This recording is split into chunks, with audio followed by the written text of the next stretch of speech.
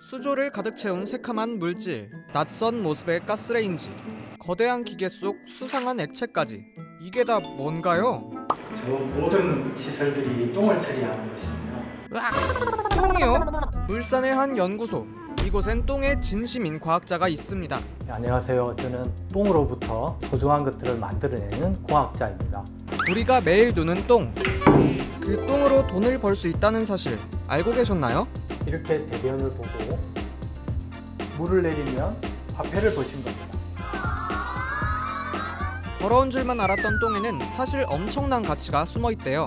원래 똥은 환경 오염을 줄이기 위한 쓰레기 3R 원칙을 지킬 수 없는 폐기물이에요. 그래서 처리하는데 많은 물과 비용이 드는데 그렇다고 대변을 안 볼 수는 없죠. 그래서 탄생한 특수 화장실 비비 화장실. BB는 앞에 B는 꿀벌의 B이고요. 두 번째 있는 B는 그 비전입니다. 그래서 이 세상의 소중한 것들을 가져다주는 화장실. 비비 화장실에서는 똥을 진공으로 압축해 처리하고 압축된 똥은 연구소의 지하 저장소로 이동됩니다. 저장소의 똥은 이 거대한 탱크로 옮겨지는데요. 탱크 안에서 배양된 미생물들이 옮겨진 똥을 바이오가스와 퇴비로 분리합니다. 1회 배설로 얻을 수 있는 바이오가스의 양은 약 20리터에서 50리터. 이것을 가지고 에너지를 만들면 0.2kWh에서 0.5kWh 정도 됩니다. 이걸 가지고 이제 자동차 테슬라 같은 거 불리면 한 1.2km에서 2km 정도 달릴 수가 있습니다.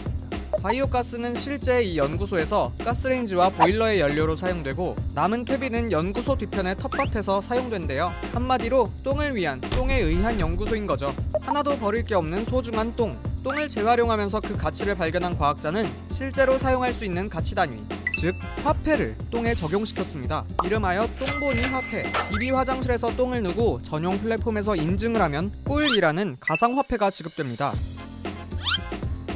열심히 똥을 누고 모은 꿀로는 실제 돈처럼 재화와 서비스를 구매할 수 있어요. 저희 이제 똥 한 번만 더 싸면은 손소독제 할 수 있어요.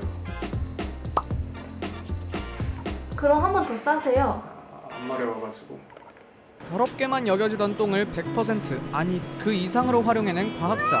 그는 왜 이렇게 똥의 진심인 걸까요?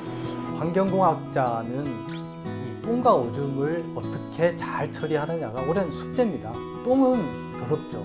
근데 더러움과 동시에 가치가 있다는 것도 저희가 과학적으로 알 수가 있잖아요. 어, 나의 똥이 누군가의 에너지가 되고 또 퇴비가 된다면 나는 여전히 살아있는 보람이 있고 생태계에서 소중한 일을 하고 있구나라는 것을 증명하는 것. 이것이 또 환경공학자로서의 의무고 분뇨를 연구하게 된 계기가 된 것입니다. 한 과학자의 탐구 정신은 단순히 환경 때문만은 아니었습니다. 똥의 숨은 가치를 찾아내 인간과 자연의 선순환을 발견하고 우리 모두가 가치 있는 것을 만든다는 사실을 가상화폐를 통해 증명하려는 과학자. 그가 개발한 시스템은 아직은 이곳 연구소에서만 구현되고 있고 아파트나 군부대 등 공동체 공간에서의 시범 운영을 기다리고 있습니다. 어쩌면 미래에는 우리의 화장실 문화를 뒤바꿀지도 모르겠네요. 우리는 누구나 똥을 누잖아요. 우리 사람들은 모두 살아있는 것만으로도 소중한 존재다. 쾌변하세요. 매일매일 똥을 누는 우리. 갑자기 제법 멋지게 느껴지지 않나요?